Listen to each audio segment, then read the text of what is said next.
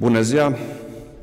Tocmai am trimis la Parlament scrisorile prin care solicit convocarea celor două camere în sesiune extraordinară. Solicit această sesiune extraordinară pentru a discuta angajarea răspunderii Guvernului pentru alegerea primarilor în două tururi. Sesiunea extraordinară urmează să aibă loc săptămâna viitoare, între 27 și 31 ianuarie. Dacă aveți întrebări legate de această temă, poftiți. Bună ziua, domnule președinte. Mioara Costin, Realitatea TV. PSD a anunțat încă de ieri că au strâns numărul necesar de, vot, de semnături pentru ca această moțiune să fie depusă. În condițiile în care această moțiune trece, asta înseamnă că pică automat proiectul pentru asumarea răspunderii pentru alegerea primarilor în două tururi. Voiam să vă întreb dacă considerați că guvernul ar trebui ca până în momentul în care are loc votul pentru moțiune să vină cu o posibilă ordonanță de urgență astfel încât să existe o variantă și să poată exista alegerea primarilor în două tururi?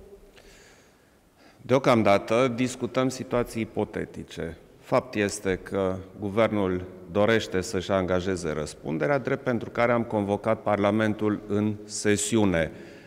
Dacă va trece moțiunea, moțiunea sau nu și eu mi-am exprimat deja scepticismul în această chestiune. Vom vedea și la momentul acela, sigur, guvernul uh, va analiza situația și va veni probabil cu o alternativă. N-are rost să discutăm acum doar una din variante, iar cea principală care constă în angajarea și trecerea prin Parlament să rămână nediscutată. Dacă mai permiteți o întrebare. Poftiți. Uh, premierul Ludovic Orban a declarat săptămâna trecută că nu s-a discutat despre scenariul demisiei sale, inclusiv cu dumneavoastră. Voiam să vă întreb dacă nu se ajunge la alegeri anticipate prin moțiune de cenzură, excludeți din start ca premierul să demisioneze pentru a avea alegeri anticipate? Eu nu exclud acum din start absolut niciun scenariu, dar, într-adevăr, chestiunea demisiei nu a fost discutată. Bună ziua, Gelina Vatcovici, România TV. Uh, voiam să vă întreb, domnule președinte, pentru că premierul a făcut uh, ieri o afirmație referitor la creșterea pensiilor, și anume că nu este 100% sigur, aș vrea să citez exact din ce a spus, că pensiile vor crește cu 40%, respectiv punctul de pensie, din septembrie. Ați discutat cumva despre această chestiune? V-a informat premierul? Este o chestiune care va fi analizată și discutată de guvern, uh, dar este dorința noastră comună să creștem pensiile și acest lucru a fost în repetate rânduri subliniat. I-ați solicitat cumva premierului ca această majorare să aibă cu siguranță loc? Nu am discutat în această perioadă acea chestiune, ci am discutat acum despre angajarea răspunderii. Și încă o întrebare, dacă mai permiteți, cu privire la Poftiți. dublarea locațiilor. De asemenea, nu este sigur dacă acestea vor fi dublate la data de 1 august. Credeți că guvernul ar trebui să găsească neapărat resursele financiare necesare pentru ca locațiile să fie dublate? Eu cred că este foarte important ca guvernul să găsească resursele pentru creșterea alocațiilor, da. Mulțumesc. Bună ziua, Roxana Zanfirescu, Televiziunea Română. Domnule președinte, ieri uh, premierul Ludovic Orban spunea că sub nicio formă, în cazul în care uh, guvernul se va fi demis prin moțiune de cenzură, liberalii nu vor vota, nu vor uh, investirea altui guvern, tocmai în ideea de a se declanșa alegerile anticipate. Um, veți fi totuși cel care va trebui să numească două guverne uh, succesive. Veți spune liberalii în, în situația de a nu-și vota propriul guvern? Deocamdată nu suntem în acea situație, dar uh, știți bine, eu m-am exprimat pentru alegeri anticipate, uh, iar PNL s-a exprimat de asemenea pentru alegeri anticipate. Care vor fi pașii foarte concreți la momentul respectiv, veți afla atunci. Aș vrea să vă mai întreb, premierul um, tot ieri declara că nu se pune problema de a demisiona. Înțeleg că nu, nu ați discutat această variantă. Totuși, dacă va rămâne singura variantă, credeți că va recurge la această modalitate pentru acest scop pe care îl aveți comun de declanșarea alegerilor anticipate? La momentul când se va discuta această chestiune, cu siguranță se va face și un anunț public. Și dacă îmi permiteți o singură întrebare, Vă rog. Um, credeți că Ludovic Orban ar trebui totuși să fie măsurat în calitate de potențial uh, candidat al PNL la primăria București?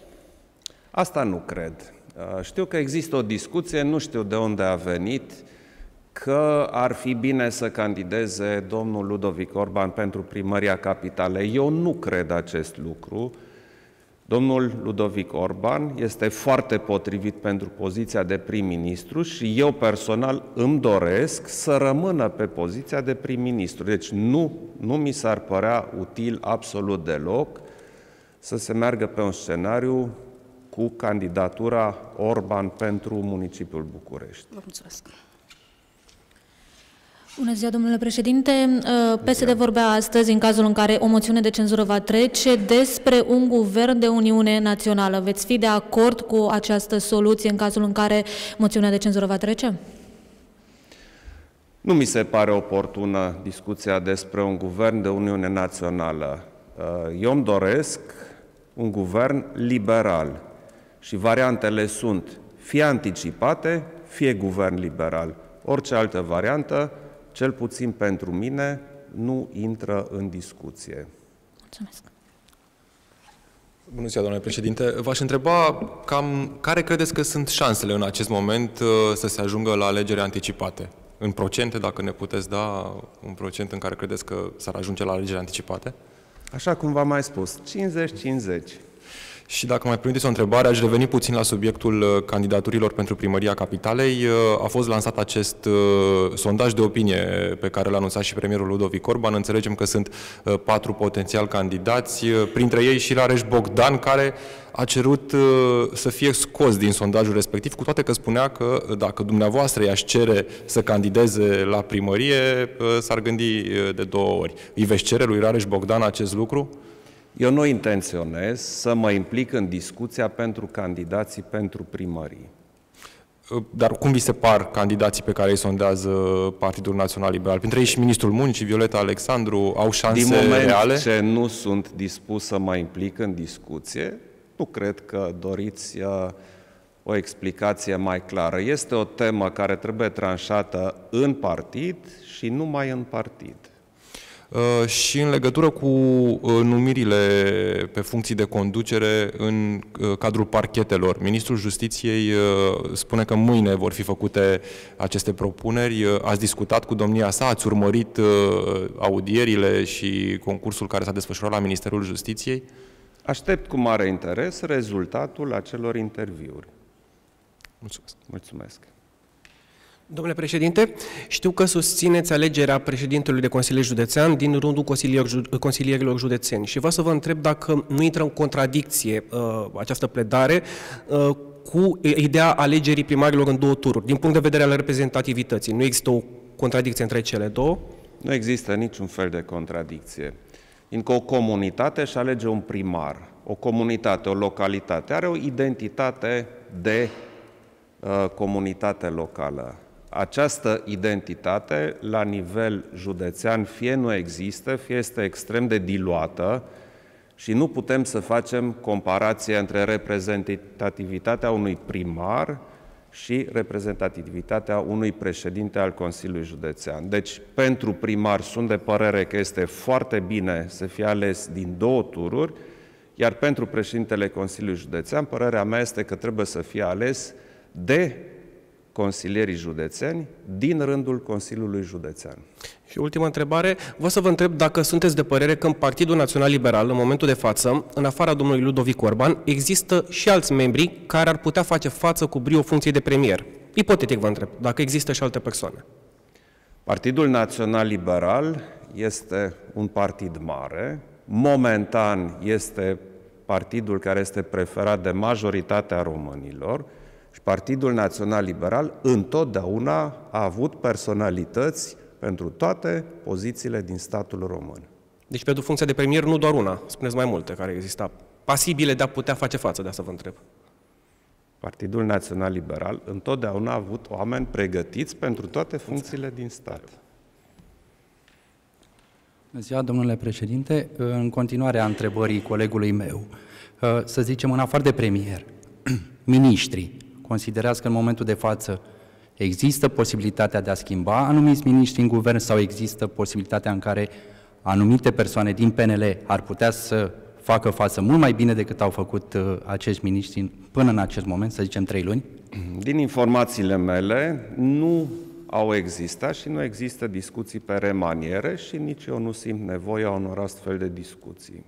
Uh, și ultima întrebare, uh, ținând cont de aceste demersuri legislative, aceste demersuri privind schimbarea legislației, privind alegerea uh, primarilor, uh, dacă să zicem, din punctul dumneavoastră de vedere, nu se creează, creează un precedent în sensul în care, dacă cineva peste două luni sau peste un an consideră că trebuie să se facă alegeri anticipate, din nou, și în același timp dorește să schimbe legislația, să zicem că nu vine de la dumneavoastră, vine de la un alt partid, nu s-ar crea un precedent ca cel de acesta să se schimbe aceste lucruri? Toate demersurile care sunt conforme cu Constituția României sunt legitime. Restul este decizie politică. Evident, un politician, un partid politic vine cu acele propuneri care le consideră oportune. Dar... Important este să fie constituționale și legale. Și să țină cont și de anumite recomandări ale Uniunii Europene privind schimbările într-o perioadă în care e mai mică decât șase luni înainte de alegeri? Există anumite recomandări uh, pe care uh, le considerăm extrem de importante, dar există anumite discuții care nu s-au concretizat în recomandări și sunt vehiculate de unii politicieni drept recomandări. Da, este bine să ținem cont de ceea ce se întâmplă și în restul Uniunii Europene, fiindcă nu vrem să facem notă discordantă, vrem să fim parte din Uniunea Europeană și în acest domeniu. Mulțumesc! Doar o singură întrebare, dacă mai permiteți. Poftiți. Premierul Ludovic Orban a declarat ieri într-un interviu întrebat dacă are garanția de la dumneavoastră că îl veți nominaliza premier și după alegerile anticipate sau dacă vom avea alegeri la termen și a răspuns că da. V-aș întreba dacă i-ați oferit această garanție. Da, eu îmi doresc ca Ludovic Orban să rămână prim-ministru. Mulțumesc. Vă doresc o zi bună.